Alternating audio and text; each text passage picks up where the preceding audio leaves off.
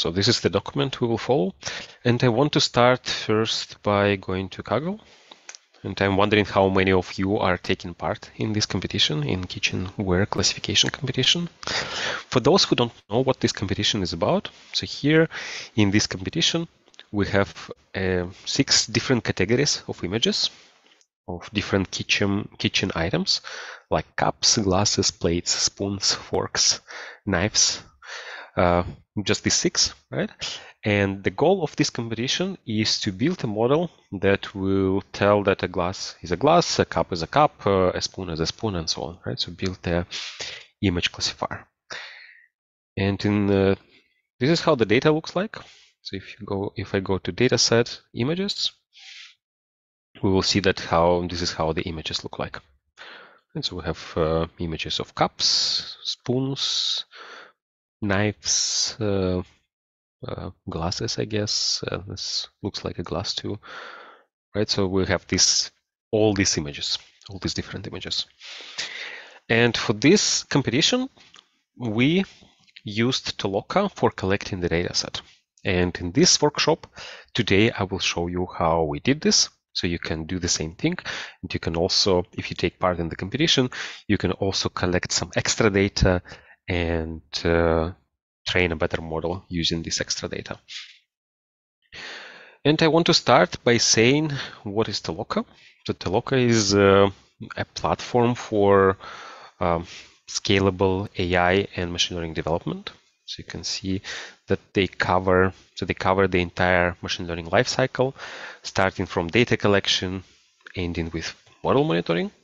We will not meet all of that for this workshop today, so we will focus uh, mostly on that. So in in this uh, case, in this particular example, we collected the data set using Toloka. So that was the first one, and then model training, deployment, evaluation. Well, mostly training is uh, done by you on Kaggle, right? Um, so the focus for today would be data collection, also a bit of data processing and data annotation. So this is what we will see how to use Toloka for.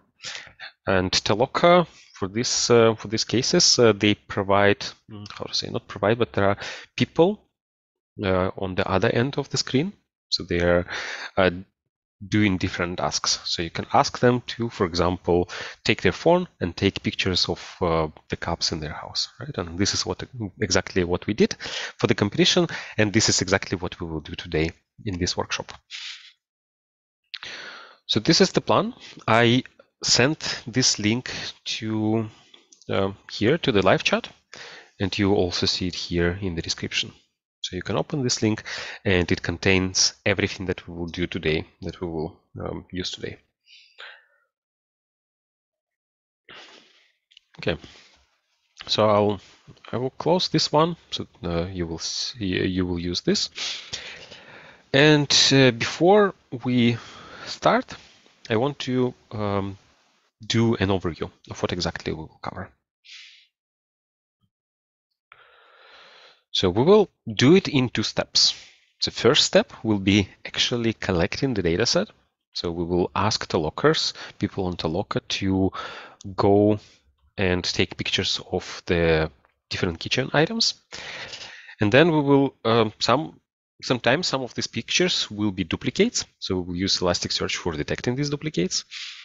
Then once we have a good enough data set that we get from Toloka, we will take this uh, data set and put it to AWS S3. And then there will be another step, which we will also use Toloka for. So in this step, we will take the data we collected in the first step, and we again ask the crowd through Toloka to uh, say that this is uh, these are the good good these are good images. So these are indeed forks, spoons, uh, glasses, and so on. Right? And then at the end, we will have our final result. So that it will be a CSV file with uh, image URL and class. And this is what we can use for uh, for the competition or for other purposes. And of course, um, this approach that I show you, um, that I show here, um, like it works for pretty much every uh, data set you can think of. So, and actually I used something very similar for another uh, a different data set I have, uh, I also published on Kaggle, which is called clothing dataset. So here, yeah, it's somewhat similar, except uh, instead of uh, different kitchen stuff, you have different clothing, clothing stuff. So for this one, I also used Toloka, uh, at least for parts of this data set, I used Toloka for collecting it. Okay, um, let us start. So um, I hope you received instructions to actually do this. If you haven't, uh, this document has everything that you need. So let's say if you watch this in recording, you can just go to the description, open this document that I have it here, uh, that I have here, and go through these steps, right? So you register in Toloka, and um, then you go to your profile. So I have here my profile. Yep. Um, okay, why it's not working? Um, probably I shouldn't have clicked on this. Yeah, I wanted to click on profile. So here in the profile, first of all, you can enter a promo code here. You just click enter promo code, and then there is a promo code that you can put to get some data, or uh, to get some money. Um, and this uh, this amount should be enough to uh, complete this workshop and get even more data. Right. And then another thing you will need to do is you will need to go to integrations and click on this get OAuth token. So you will need to click on this and you will get a token and we will use this token for communicating with Toloka through an SDK. Right. So we don't want to do many things uh, manually through the interface. So instead we will use uh, SDK for communicating with the platform. And um, yeah, so this is what you need to do to register in Toloka. And then we also have um, some things that we need to install locally, um, like a bunch of libraries like Jupyter, Toloka Kit, this is the SDK, and then a bunch of other libraries that we will require for the workshop.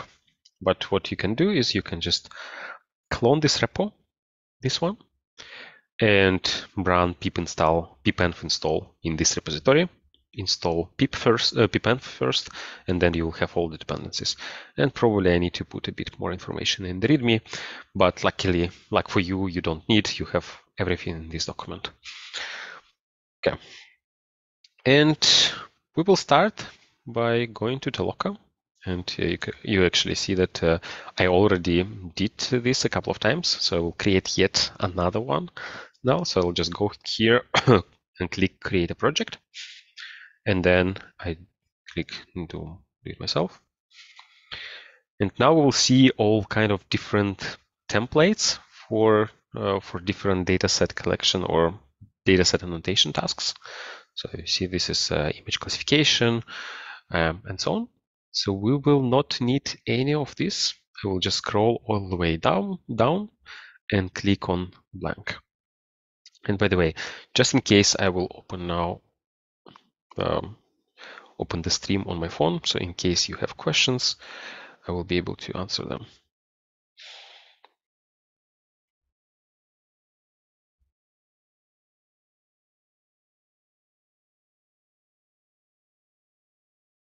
Okay, now, yeah, if you have any questions, please ask them in uh, in the live chat, and I make sure I will make sure that I see them and I answer them. Okay, so yeah, I click here, choose this preset, and now we have this form. So in this form, we need to um, specify uh, to parameterize to configure our project. I'll close this one. And yeah, I already prepared some of the things that I will just copy and paste, like title and description. And yeah, so this is uh, just name and description. Then the second thing is the task interface. So this is what the tolokers will see when they get to do the task. And uh, the interface should be um, hopefully quite, quite intuitive for them to understand what is required. And we will need to put uh, like all the, oops, all these things here in the items section. So I'll make it a bit larger now so you can see what's happening. And here we need a few things. So first, we probably need a short piece of text, like text that says maybe take a picture and with your phone and upload it, something like that. So that's one thing. Then we actually need another part of the interface where they will upload something. Um, and that is called it's field media file. So I'll just type field dot media file. I don't know why it's doing this, and it uh, kind of auto completes. It shows what we have here. So we don't need to upload videos, just photos. Then we don't need to uh, upload multiple files, just one false. Then the output would be the name. So this is when we will get the results. So this is how the output field will um, be called. So I'll put image and label was of kitchen items, something like that. Right, and then we also need another uh, part of the interface where we ask them to specify what exactly they uploaded is if it's a spoon, uh, if it's a fork, and so on. So for that, uh, is it field button radio group? Yeah, this is what we need. And yeah, here we have, um, we will need to add seven buttons, so like six for all the classes, and I will also add other there. And this will be class. So this is the output where it will go. I actually have the entire form here, so the entire JSON, which I will just copy now and paste here. So then I make sure that there are no typos here. So this is how the form looks like. So then there is an area where they can take a picture and then six different classes plus other. Okay, the form is ready. Now we need to uh, specify what kind of input data we will provide and what kind of output data we will get out of the task. Here we don't have any input data, but still the platform requires us to specify something, to provide something. That's why I will I will just say add field and I will create this dummy ID field, which will be an integer. I'll save it. Um, yeah, because we simply have to have some input data. Right, so the, the tolokers uh, will not see it, but yeah, we'll, we still need to provide some data. And then we have some output data. So first, this is the image. It comes from here. And then the second one, class, comes from here. Right? And I, I will click edit here and I remove all the allowed types. So here, basically everything is possible to have. And in case we add another button here later for some reasons, then we will not need to change our data specification. Okay, I'll click save. And yeah, this the second step is ready. And yeah, I see a question from Adonis. Um, how will we, how will we, how we will be able to validate our data? If this includes a model, does this then can be used for classification?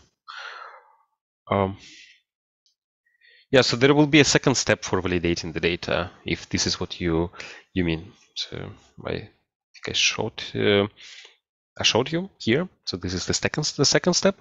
But if you let's say if you have your own data, if you don't collect uh, this from Toloka and you have to validate your data or annotate your data, then yeah, you can just go directly to second step. I hope I understood your question. Um, yeah, let me know if uh, it doesn't make any sense to you, and I'll try to maybe uh, answer. Anyways, so now um, we finished the first step, general information. We finished task interface, and now we also need to provide instruction for the tolokers. And this is, I think, one of the most important steps. So instructions have to be very clear, very precise, as precise as possible, as clear as possible. Then, um, because uh, the the quality of instructions directly correlates with the quality of the results you have. So if you don't have good instructions, then good instruction, then the result will also be not good. So I have prepared here the instructions. Uh, I'm sure the instructions, uh, this set of instructions could be improved even more. So just make it look a bit nicer. Like that. Yeah, so here it says uh, what kind of uh, requirements are there for the files. So you have to take your, this picture yourself. You don't download it from the internet. Uh, grammarly complaints. Um, then it should be only one item, not multiple, and so on. Right. And uh, if you want, you can also add translations. So feel free to, with, to, to experiment with this. So you can add other languages too, not just English. And with that, I think we can just uh, click on save. And we have created our first project. Now, in this project, we create a pool. So pool is where we actually send tasks. So in the pool, you will see we give more, um, we provide more configuration, like we say how much we want to pay per task, per task suite. So suite is like a screen with tasks that you see. And once you complete, once the toloker completes all the uh, tasks in a suite, in the screen that they see, they get some money right? So you can you can add multiple tasks in one screen. So we will actually uh, put only one task. We will be able to change this later when we submit tasks. And here overlap is how many tolokers get to do the same task.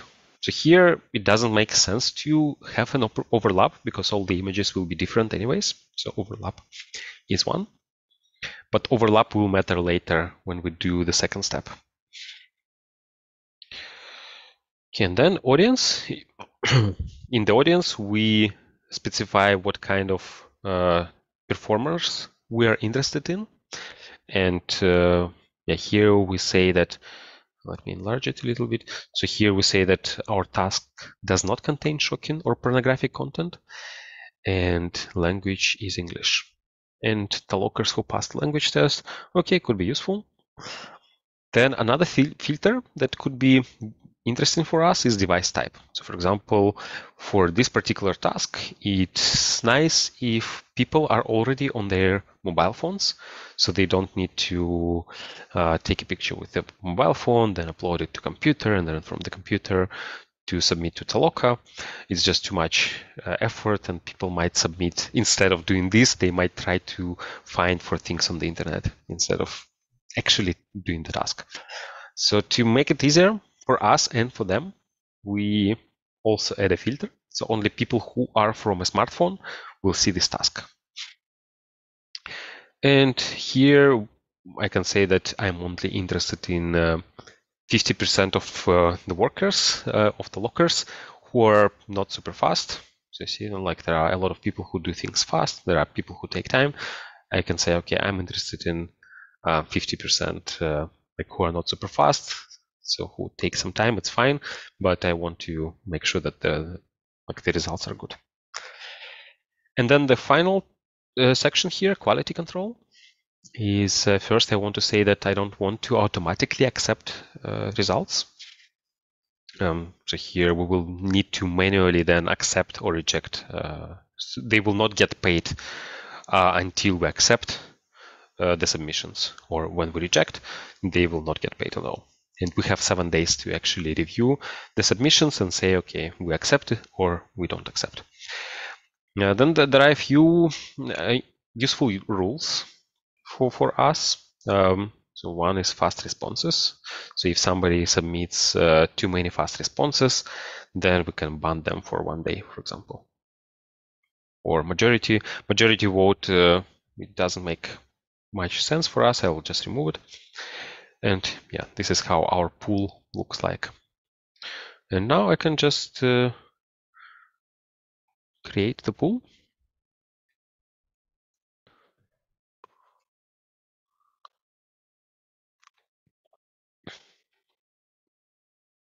And we should be able to start sending data now to this pool.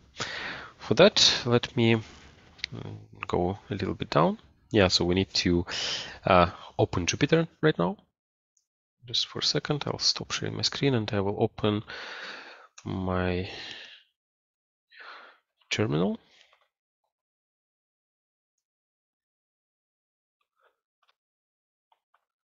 Okay, so this is uh, my terminal with the project uh, that I showed you.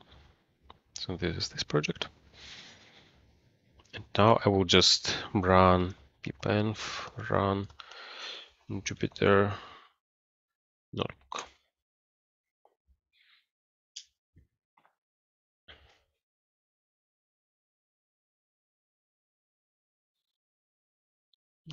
I'll create. I will call this, um, maybe I'll just call it workshop. And here we will do all this, uh, uh, we will write code. Let me take a look at the questions. Uh, question from James. Uh, how do you ensure that tolokers are not just uploading images from the internet? Because, uh, yeah, so that's a difficult one. Then uh, we will do this as a part of the second step. But if you want to really be sure, then um, what you can do is, let's say, when you have an image, um, you have an image somewhere. So let's say here. So I have an image here, and then I can just click on this and click search image with Google Lens. And then Google Lens will tell you if this image already exists somewhere on the internet. Right, and then this is what you can. So here for this one, I don't know why it cannot find this particular one, but yeah, usually with uh, clothes and different uh, things, uh, this Google Lens search uh, works quite well. Ah, yeah, you can see it. It found it. So this is what you can also ask tolokers to do. Right? So you can say that I want you to uh, click to do right click on the image and check uh, it on the internet. And if you find, then say something. So this is how you can make sure that images are not downloaded from the internet. And then another one, because you did not select automatic acceptance, uh, did you have to manually accept every picture? It's possible to manually accept every picture, but we will use Toloka to accept pictures. So we will use uh, as a part of the second step, uh, other tolokers will look at the picture and they will tell us if the pictures are good or not.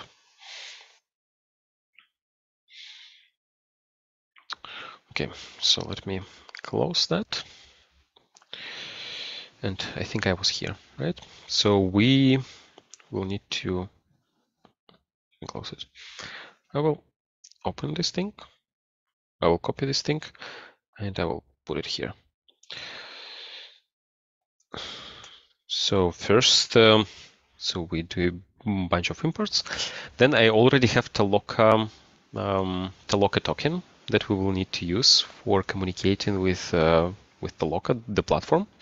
So I put it in my environmental variable. So you can just uh, do Toloka token equals and then put your token here. I don't want you to see my token. That's why I'm doing it this way. So now my token is here. And I will just create the client. So this is the client I will use to for communicating with Toloka. And now I will, so this is our pool ID. I will show you now how to get it. So now we go to our uh, to Toloka, to our pool that we just created, and then we take this ID from the address, and this is our pool ID. Right, and this piece of code will submit 10 tasks to Toloka. So what's happening here is uh, we have a loop to, of 10, right? And then for each uh, iteration of the loop, we create a random ID. And remember, this is this um, artificial ID that uh, we just simply have to have some input, right? At the end, we don't care what this input is. The tolokers also don't care, but we need to specify some input. That's why I just generate a random number and put it as an input. So this is how I create a task. And then the task suite is the screen that the tolokers see. And in this screen, they will see only one task, this particular task that we just create. And then I submit all 10 tasks to Toloka. Right? So when I execute this, now if I go back and refresh, we should we should see 10 tasks.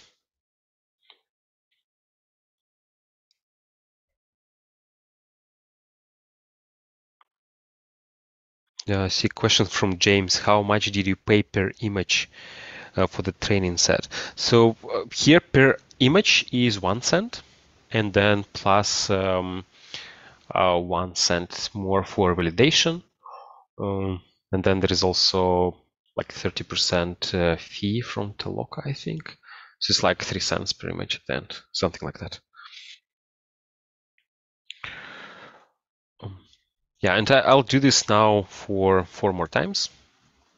So then we have like 50 tasks. Range four.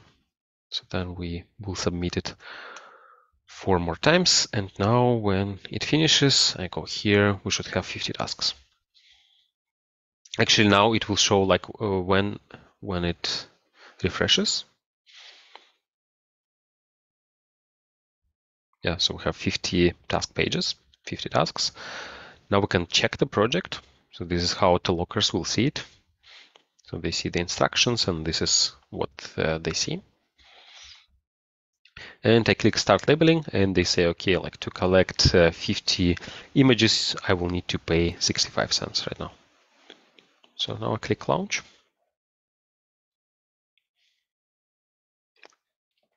And I don't know, does anyone is following along me doing this thing too? Because I'm, I'm wondering if now multiple people create these tasks, if um, it will make any effect on the speed that well, I will have.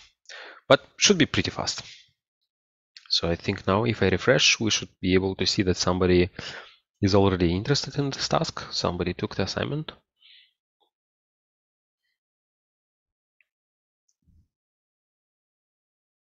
Yeah, so somebody, already one person is, is doing this. So while, while they are doing this, let me take a look at the questions again. If it's using majority vote, can we assume that the model is an ensemble? Um, Jorge, I'm not sure what you're talking about. So majority vote, maybe this is, uh, you mean like when we do the second step, five people are submitting um, the, the evaluation. And then, yeah, we will probably talk about this later. Now, maybe it doesn't make much sense.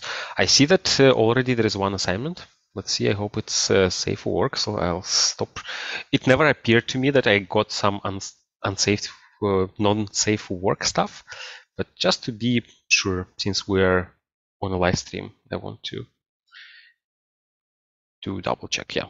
So here in this example, actually this image is, oops, this image is not good because it's clearly a stock image from the internet, right? So it doesn't look like, um, it doesn't look like some something uh, somebody took a picture of that.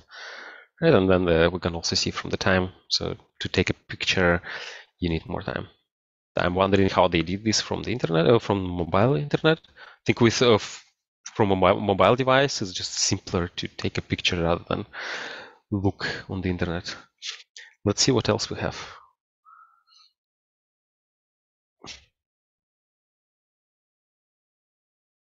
it should be a spoon. Yeah, so this one is good, right?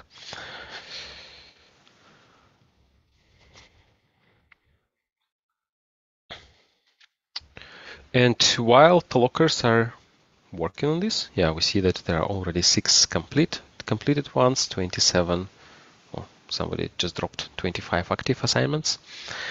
Um, so now we can see how we can actually get this data from Toloka to our Jupyter notebook. So for that, we use this thing called get assignment. So this is a function in the client that we have, get assignment. And yeah, so here uh, we are interested in uh, assignments that are submitted from this pool ID. And these are the assignments. Right? And I can take a look at one of the assignments. So this is how it looks like. Uh, I'll make it look a bit nicer by using to JSON. That. So the, we see that, uh, uh, so this is our task specification. So this is the random ID that we generated. We're not really interested in this. We're interested in these output values, right? So the class is spoon, and this is the spoon. And I will now execute it one more time. And I will, yeah, there is some code for, for preparing this. Okay, so we execute this, um, we execute this request we get the assignments and then for each of the solutions so this is the solution right we get the output values and later when we accept or reject we will need to keep the assignment id so we keep it here in output values and then we get all the results here in image results list so we can see how many already finished so we have 24 uh, submissions and for example this is this is a uh, plate, glass, and so on. So this is the data we have. And now, instead of an image, you see that it's just some ID, right? So we need to have a way to download uh, uh, the image using this ID. In Toloka, for that, we use uh, I think it's download attachment. Yeah, so download attachment, the first argument is attachment ID, and then the second is where we want to save the attachment, in which uh, stream. And I already have a piece of code for downloading this. So this is the function that we will use. So it just checks if uh, well, there is a special directory for attachments. First, we check if it's already there. If it's uh, if it is, we don't do we don't download second time. But if it's not, then we invoke this function and save the attachment there. And yeah, I will use pathlib here. So we will create a folder called attachments, and then in this folder we have a folder with a pool ID, and all the attachments for this pool will go there.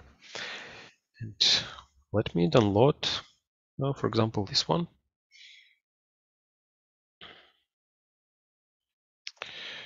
Um, I think the directory is this one. And then I'll call it image file. So now it downloaded it. So this is where it put it. And I have a, another piece of code that will that we can use for vis, vis displaying this. Yeah, hmm, somebody is really into stock images. So we will need to uh, discard all that later. So let me see. Maybe you have something better.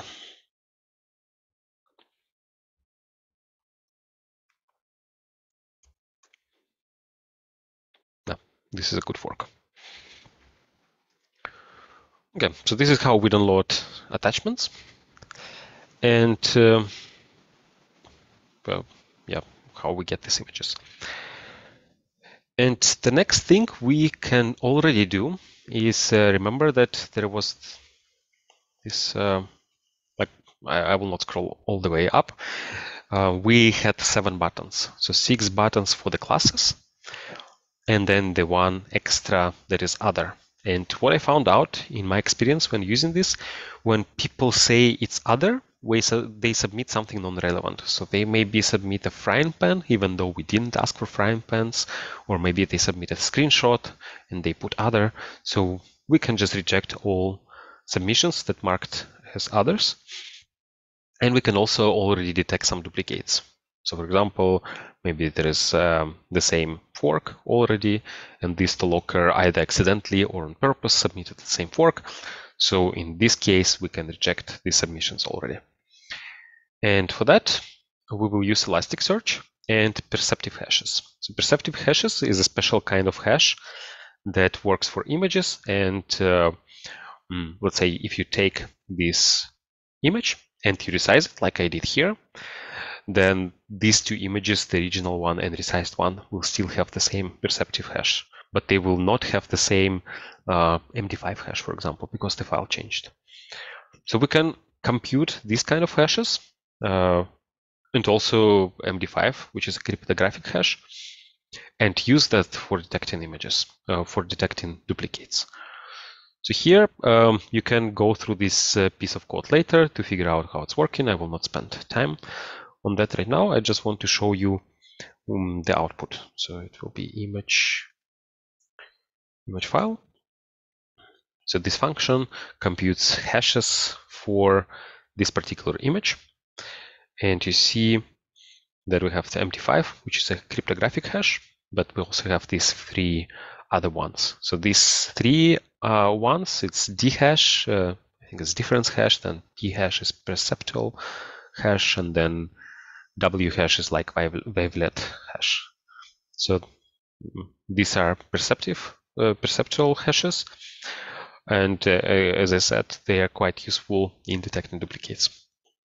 And then we will keep all these hashes. We'll put all these hashes in uh, Elasticsearch, and when, then we can use Elasticsearch for understanding if we have seen this image already or not. And if we have seen this image, then we detect uh, a duplicate, and then we reject this. So for Elasticsearch, I will use Docker for running Elasticsearch. So I have this snippet of code already. So I'll just execute it here. I don't know if it's, I'm actually, yeah, I stopped Elasticsearch. Good. So now I should already have this image locally. Yeah, tell me something. Okay. Yeah, looks like it's working. Good. Um, yeah, while it's starting, um, let me copy this piece of code. So this thing will connect to Elasticsearch using login Elastic and password change change me. Yeah, and of course I need to import it from Elasticsearch, import Elasticsearch. I will put it here so when you execute this, you don't have problems.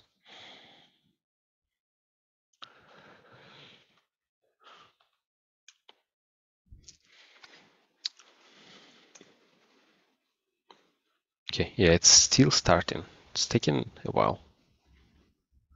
I should have started it before the before the workshop. Let's see, maybe it started now. Good. Yeah, it did. Just let me take a look if there are any questions. Yeah, I'll answer this question about ChatGPT 3, ChatGPT later. It's not super on topic right now, but we can talk about this at the end. Um, please do remind me. Uh, I might forget. I already have, uh, I've already used Elasticsearch for this. So I want to first delete the index. So index in Elasticsearch is like a table in a, in a database. So I just want to delete this previous table, previous index that I created, and then create a new one. And yeah, so this is, we say that in this index, we have four different kinds of uh, properties, four different kinds of terms. And each of these uh, terms is a keyword, meaning that we're interested in exact match. And because you know Elasticsearch is used for text search too. And uh, if you, let's say here, uh, if you want to use it for search, uh, for text search, then the type could be text, for example. But we use only we only use it for exact matches. That's why the type is keyword. And I think I created it already, right? I don't remember if I executed it. Uh, let's see. Yeah, hmm. I guess I did. And yeah, these are the helper functions that we will use for communicating with Elasticsearch. So first of all, we um, uh, this one find duplicates uh, creates a should query in Elasticsearch, and should query is a query where at least one, like it's it has this or semantics. So at least one of the these three should match. Um, there is also there are also must queries. So in must, it's it has like and semantics. All three should match, but here at least one should match. And if all three matches uh, in the results, it will just have higher ranking. So we sent this query. Um, so we sent a hash, a bunch of hashes, and then we ask Elastic, do you know if we already came across these hashes? Uh, at least one of them. And then it gives some results. So if we did come across some of them, then it will show the results and say, okay, yes, you know what, we already did come across them. And uh, these are the attachments where we saw them, right? And then what we can do is we can say, if there is at least one result in, uh, in this query, then we conclude that there are duplicates. But if there are no results, then it's not a duplicate of anything else. And then this first function just saves the hashes to Elastic. And with that, I will now execute uh, this thing one more time. Yeah, it's taking a bit of time, but I guess we can just continue with 30, uh, 38 questions. So we will not wait till all 50 um, are finished. Um, and we will just need to loop over all of them uh, over each element of over each image. And uh, first, if it's other, we will reject it. Then if it's a duplicate of some other uh, image, we will reject it. And if it's not a duplicate and the class is correct, then we can save it. And of course, I have uh, already a piece of code for that. So I'll save some time. I will not type it. I will explain what's happening here. So um, this is the first bit we say if the image submission class is other, so if somebody submitted other in this, we reject it with a comment saying wrong class. We only need cups, glasses, and so on, right? So you submitted something else. That's why we reject uh, this, uh, this submission. Then we download the attachment, and then we calculate the hash from this attachment. And then we use this function from here to uh, to ask Elasticsearch if we have seen these hashes before. If we did, then we reject the assignment, saying that this is a duplicate of another submission. Right?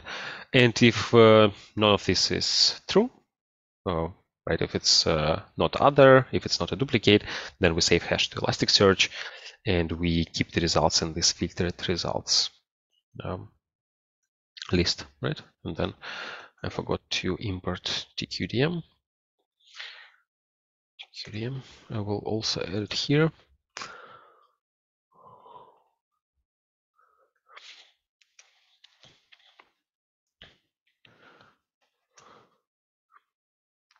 Okay.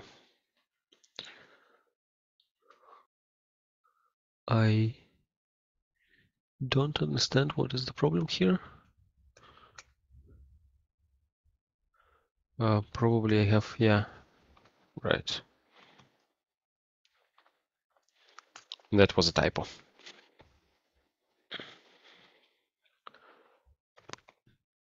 Hmm, downloading images takes a bit of time, so you see that uh, somebody submitted wrong class. So you can also mm, parallelize it. So we will not do it here, but uh, there is um, a thing called um, process pool executor Python, and you can use this um, to make this process pool executor or thread pool executor. You can use this to uh, process these things in parallel. Um, so the way I do this is I first download all the attachments in parallel, and then I have this for loop uh, here, uh, and I simply take hashes that were already computed in the for loop or in a process pool before. But to keep it simpler, I will not do it here, and let me take a look at questions. Uh, is it possible to visually check the duplicates found with Elasticsearch? Um, Yes, it is possible. So right now, I don't know if we will see any duplicates. So if we see, then we can visually check this too.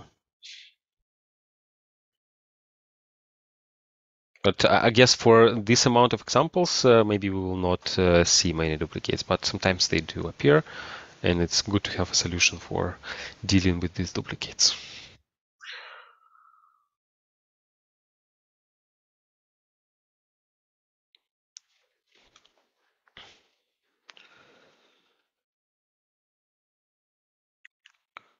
Okay, I'm just check, taking a look at the questions right now.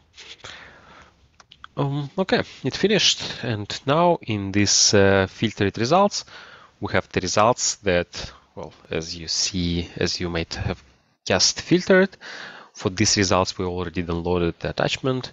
And yeah, they are already one of the classes we need, and they are not duplicates.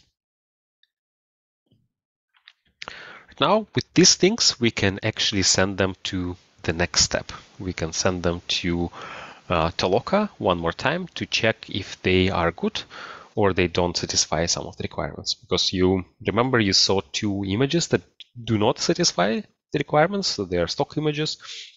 And actually, I have more examples. So this is the data set I collected previously. So you see these are stock images. Then there are multiple items. Um, then it's again a stock image. Uh, this is not, uh, even though like it's uh, it wasn't marked as other, it was marked as one like a spoon or something, but it's clearly not uh, not kitchen stuff. And uh, there are also screenshots, right? There are also um, like pictures of people, uh, a kitchen.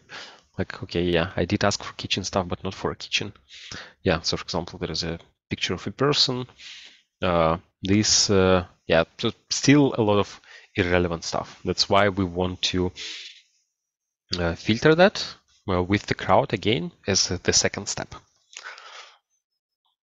Then let me see what i have in the notes. Yeah. So this is exactly that second step. So now we will go to Toloka one more time.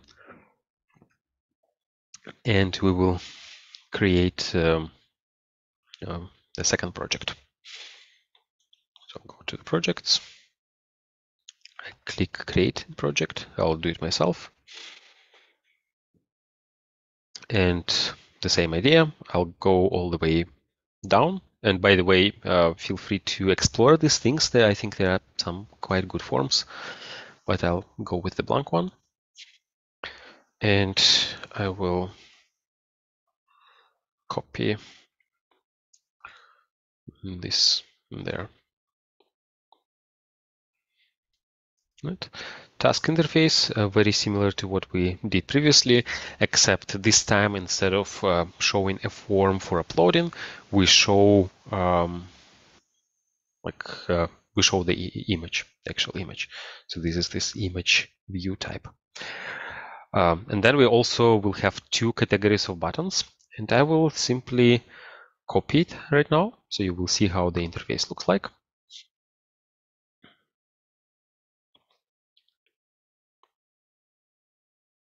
Oh, yeah. So this is the area where we display the image. And there are two sets of, um, of buttons. So the first one asks if the image satisfies the requirements and the requirements is what we showed in the first task.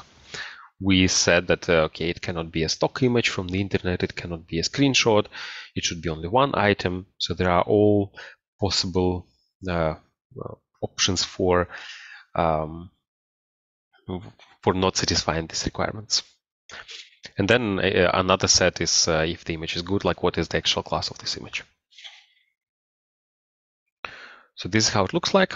And here in the data specification, we will need to change it. So in addition to image URL, which will be here, so this is the input. If I scroll all the way, sorry, if I scroll all the way up, uh, oh, wait, it looks like that. Okay, so this is the uh, input URL, right? And then um, these two are output, so it's verdict and class. So we see them here. So this is the input and these are two outputs. We need to add two more things here. So first we need to remember what was the submission ID. uh, for this one. So then later we can uh, uh, accept or reject the submission after it was validated by, by the crowd. So this is the assignment ID.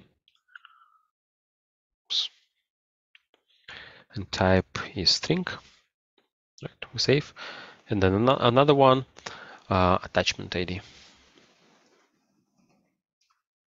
So this is the idea. Well, we don't strictly need it uh, because we will still have this image URL, but just in case we will keep it. So it will be stored as a metadata and uh, we submit it. And later when we get get it back, we will uh, also see this in uh, in the responses. Okay, should be string. And I again will edit this one, remove uh, a set of allowed values, so everything is allowed here, and the same in the class. And the reason I'm doing this is uh, once it happened that uh, I had one set of buttons here, and then I decided decided to add more buttons, but they weren't automatically updated here, right? And then uh, tolokers could not click on any of the new buttons. The form would reject that. So to avoid that, I uh, first thing I do is I uh, remove these possible allowed values. So then it can be anything. And then instructions for tolokers. Again, this is a very this is the crucial step here. It's very important to give uh, a clear set of instructions here. And here in this task, I have um, the, the instructions I have uh, is these are the requirements, and I think I just copied that uh, with minor modifications from the previous project. But also what I include here is images of what uh, good uh, pictures look like and uh, what not good pictures look like, right? So they have examples. They know what they should reject and okay, screenshots, multiple items, and so on. Now I will copy this and I will put it here.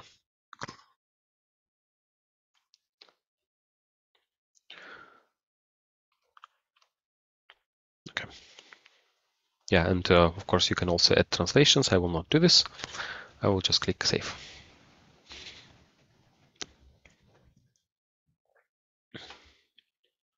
And again, we create a pool. You have seen how to do this. Um, I will put price 1 cent, overlap 5. So here, the same task suite, the same screen, uh, will be evaluated by five people. Uh, this is actually controllable later. When we submit, we can specify the overlap. Um, yeah, but we will have overlap here for this one. Then for the audience, let's uh, use English. Uh, I, I, don't know if I should uh, keep this one or not. Uh, let's keep this one.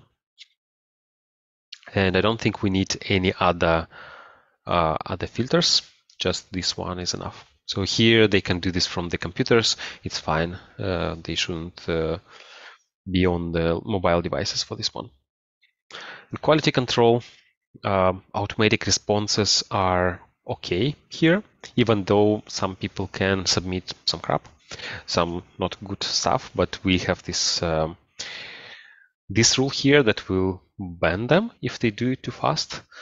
And then uh, probably I should uh, spend some time figuring out what this is doing here. But for now, I, I don't know, to be honest, like how exactly this is working. So for now, I'll just delete it. Uh, but probably this one should also be helpful for controlling the quality. Now I'll create a pool.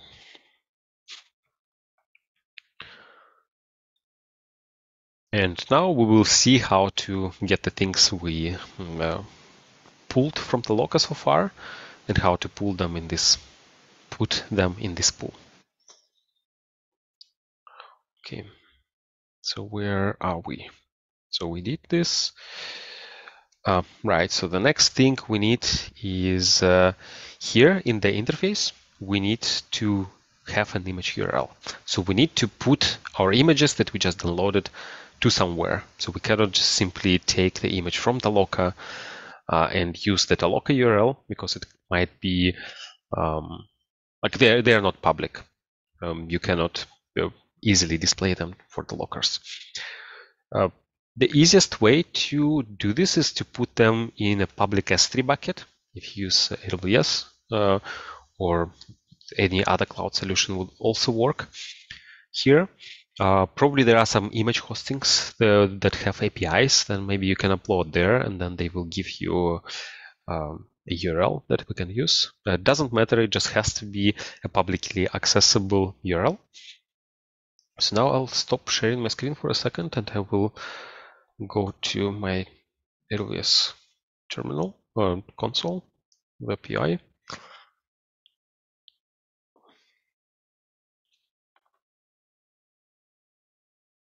I should already have um, a bucket.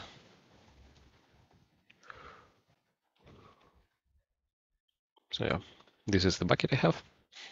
So you see I already experimented with this uh, a little bit, so that's why I already have like four different uh, uh, polls here, pool, pool IDs.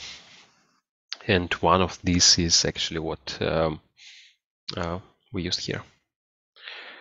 So this is the um, this is the bucket, and the interesting, the relevant part here for this bucket is this bucket policy. So you will need, if you want to also use S3 for this, for uploading images to uh, S3, you will need to have this uh, this bucket policy that allows public uh, get access to the bucket. Okay. And then I have a piece of code that uh, actually there are two things. So the first one is uh, this code takes an image that toloker submitted and resizes it slightly. So it uh, makes sure it's no longer than 1000 by 1000 because most of the images that toloker submit, I think uh, we can see it here. So they are pretty large. So the three megabytes, five megabytes, four megabytes, and uh, like I don't know if I can see here yeah, like the 8 megapixels. We, we don't need that large images, right? So especially if we are going to use it for deep learning, for classification, at the end we will resize them to a small uh, squares of 299 by 299. So we don't need that big images. So that's why we have this make thumbnail function. And I, will, I, I think I have this code that creates, um, so here I will create a thumbnail folder. And yeah, this piece of code will create a thumbnail from, uh, let's say this one.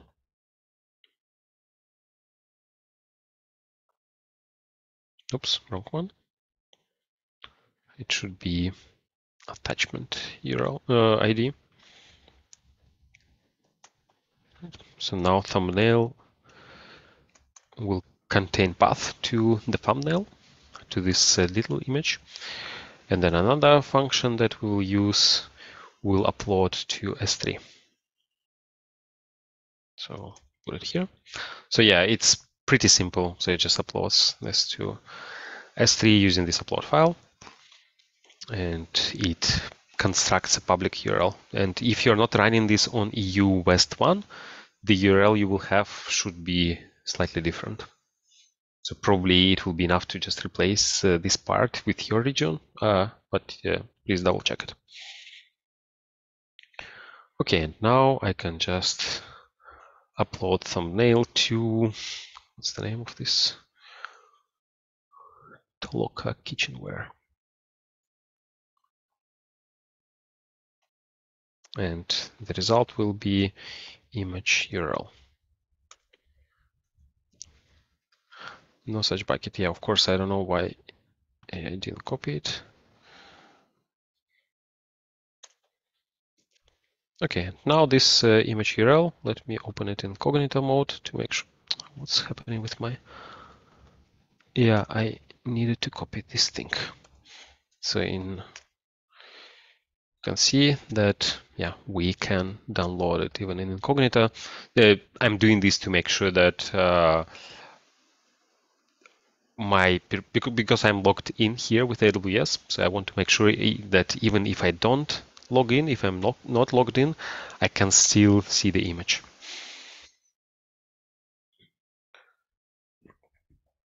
Um, let me take a look at the questions.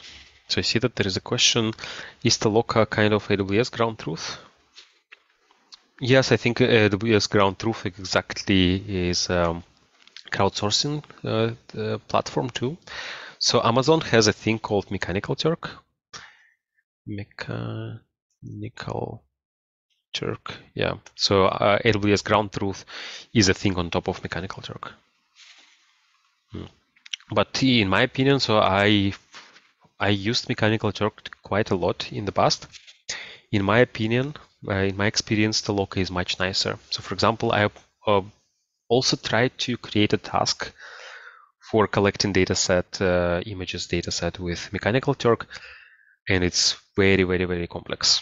So that there is a kilometer long uh, documentation describing how you do this, but in Toloka, you just drop uh, this file, um, file upload kind of thing, and then you have it. So that's that's a lot simpler. Okay, so now Now what we need to do is take all uh, all these things, filter it results. We already downloaded the attachments. So now what we can do is just upload them to S3.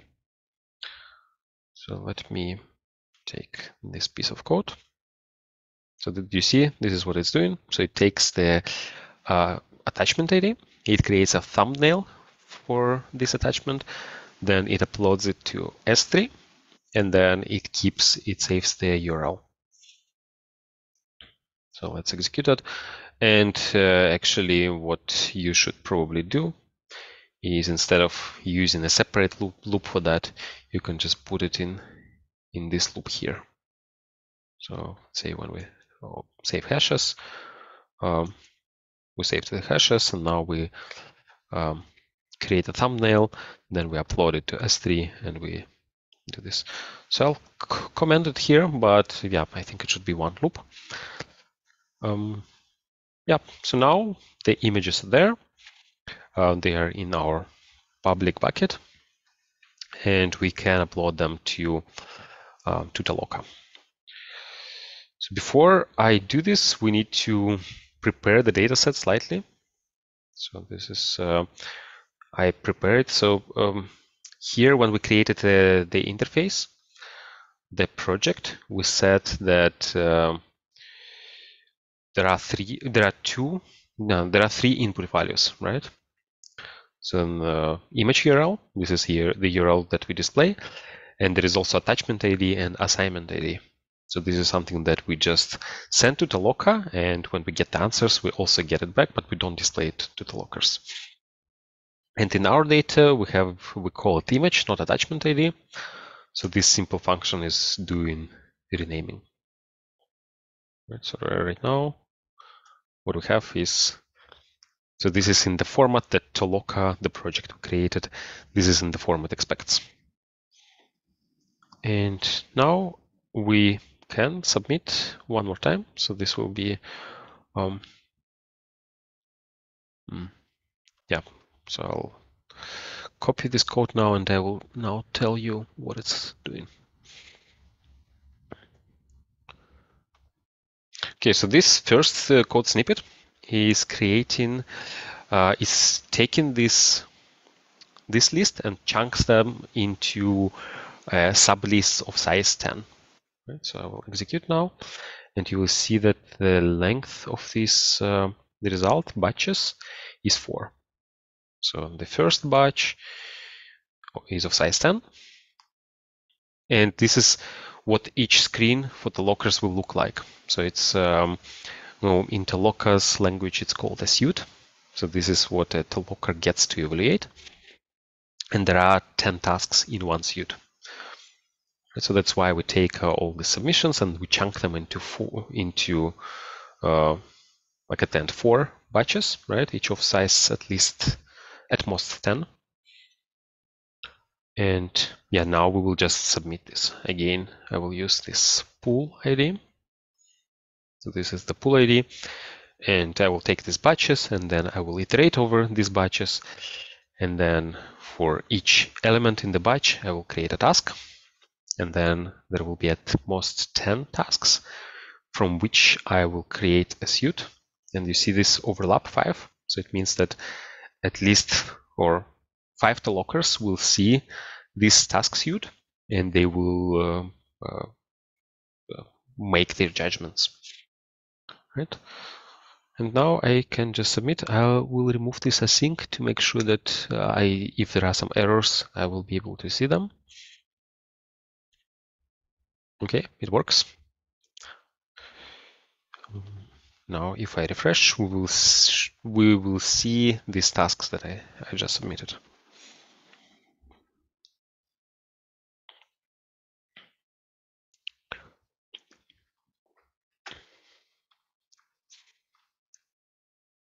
Yeah, so there are four task pages, and remember that there is also overlap of five. There are 35 tasks on these four task pages. And now, yeah, we can check how it looks like.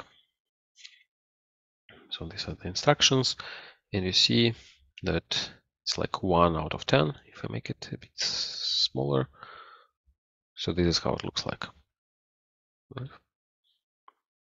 Yeah, so for example, this one is uh, clearly uh, doesn't satisfy the requirements and some of them others too. I don't know what this is. Okay, so this is how it looks like. Now we just click Start Labeling and click here. And now it started. And while it's doing this, let me check if there are any questions. Are there other good alternatives to Toloka? Mm, I only use Mechanical Turk in Toloka. So there are other platforms, but you can just uh, check uh, crowd sourcing platforms and then see uh, which one you like. I, I, I like Toloka. I think it's a very good platform. Um, but yeah, do your research if you are interested in this. So are there other questions?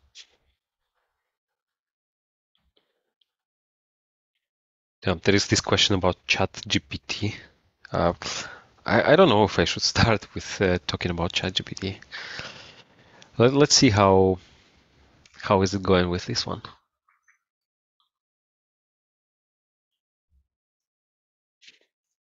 We see that already uh, people are working on this.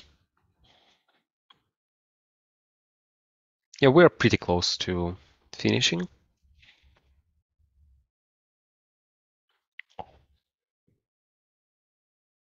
For are accepted. Yeah, so far, while they are working on this, what we can do is we can start preparing code for actually pulling data from there, because it will also take a bit of time to go through this.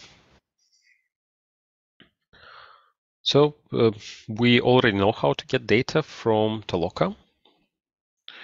This piece of code is slightly different. So because we automatically accept uh, accept submissions here, status um, that we ask is accepted, not submitted. And the pool ID is this new pool ID. Right? And now let me just execute this. And I also want to show you how it looks like. So it looks slightly different from what we saw previously.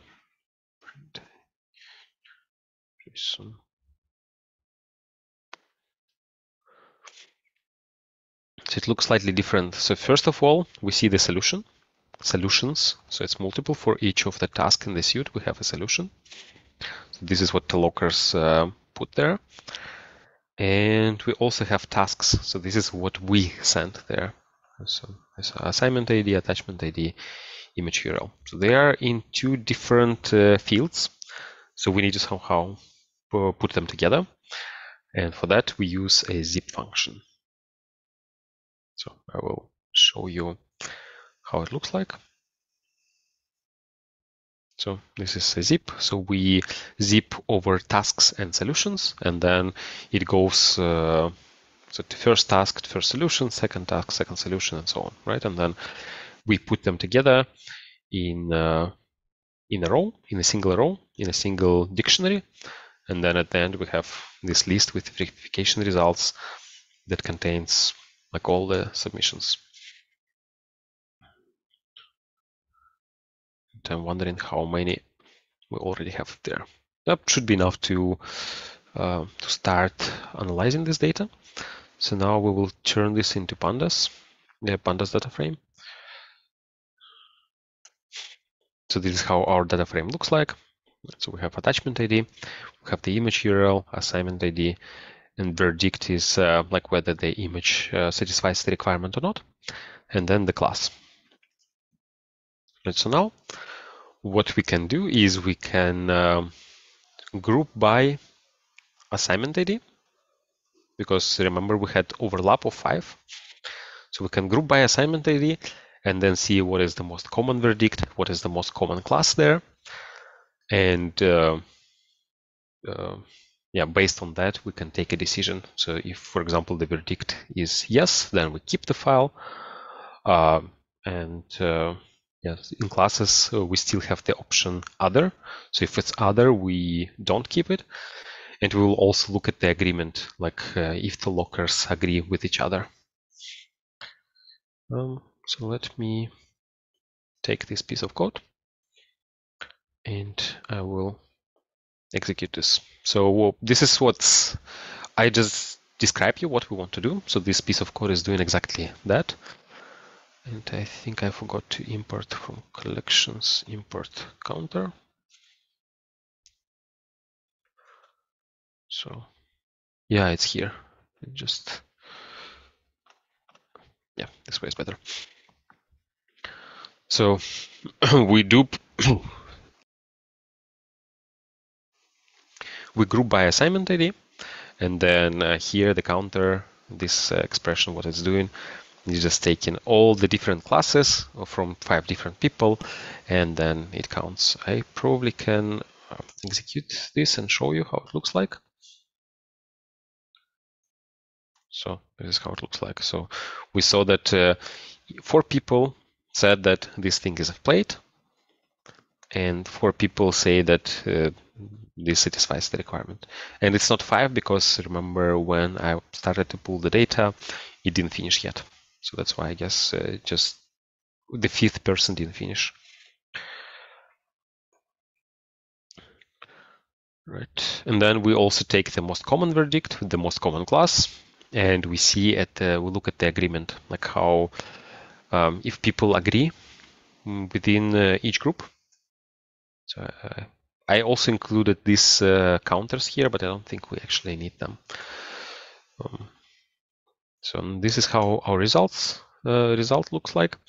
So then for each assignment, we have the agreement between each group. And agreement is like, let's say if two people, there are four people in general to say it is uh, it satisfies the requirement to say it doesn't satisfy, then we just go uh, with the yeah, we just know that uh, they disagree with each other. And um, yeah, sometimes there are still people who maybe don't take a lot of time to think about the answer. And this could be one of the ways uh, for improvement, because here we just accept all the responses. But one thing that we can improve here is we can submit, um, when we submit the assignments, we can add uh, some data for which we already know if it's a good thing or not. Um, like for example, we know that, um, let's say this one, we know it's good, but we say we know that this one is not good, right? And if we have this data that we labeled ourselves, we can add this information to Toloka when we submit it to the pool, right? And then we can take a look at what people reply, how do they evaluate this, uh, I think it's like it's called gold standard uh, or something like this. Like basically, we know the evaluation, what evaluation should be for this, and what people reply. And if they don't uh, provide good replies, we just ban these tolokers, right? And then at the end, only good tolokers um, uh, take uh, can participate in our projects. Okay, here I did not do this. So here we can just look at the agreement and we automatically accept responses. And let me execute this one more time. So hopefully more, we have more replies. Um, yeah. So this is our results. And now what we can do is this simple piece of logic. So we say that we accept results if the most common verdict is yes, if the most common class is not other, and if the tolokers agree, at least like 50% of them agree, then we accept this, and otherwise we reject it. And we can actually look at um, how many, yeah, so we will keep 85% of the data and we will reject uh, 15 uh, remaining 15% of the data. Great. And now we can just use Toloka again, uh, Toloka SDK client. Uh, there is accept, accept assignment, right? So then we can, for each of the accepted ones, we can accept them or we can reject uh, the assignment and say, okay, like sorry, you didn't go, do good job. That's why we're rejecting your assignments.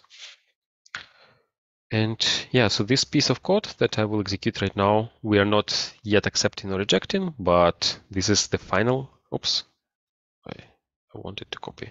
So this is how our final result will look like. So if you're following along this tutorial and you want to take part in this kitchenware classification, so if all, if everyone who is following this uh, want to contribute a data set to the competition, what you can do is you can just send me the CSV files and then I can put them together in one big CSV file and then we can use this information for training a better model. So this is our like final result. So it probably helps to save this. So do data, data frame final, to CSV, I don't know, data 2022 12 uh, 15 CSV index false right? So this is the final data set. And of course if you do this later for the competition or for some uh, for some other uh, purpose here at the beginning instead of submitting 50 um, uh, 50 maybe you want to submit uh, I don't know 1000 or 2000 um, so at the end for the competition, I think I collected uh, almost 10,000 or it was 9,000 something images.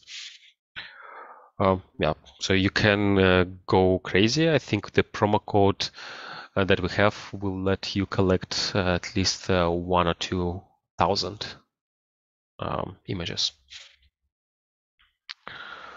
Okay, and then the last step is accepting and rejecting. So I will take this thing and I will run it. And yeah, that's actually end of the workshop. So we saw how to uh, create a project in Toloka for collecting a data set uh, uh, Im of images, right? So we saw how to programmatically submit there. I'll go here at the beginning. Right, so we saw that. Then we saw how to use the Toloka SDK to get uh, the images, to compute hashes of these images, to make sure that they are not duplicates. Then we resized these images, we uploaded them to S3, and we used these uploaded images in the second step where we again created another, another project in Toloka and we asked the crowd from Toloka to validate that these images are good. And we kept only good images. And then at the end, we have this CSV file that I showed you um, and this CSV file, uh, data from this CSV file we can actually use for this uh, for improving our models in the kitchenware classification competition. Okay, do you have any questions? So you've uh, you've asked already quite a few questions, and then uh, if no, I'll take a look at this uh, Chat GPT one.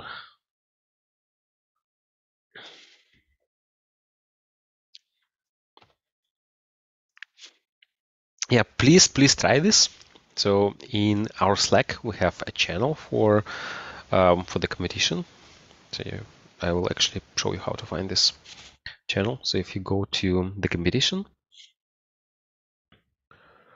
um, in the overview, it says that this is the channel in Slack that we use.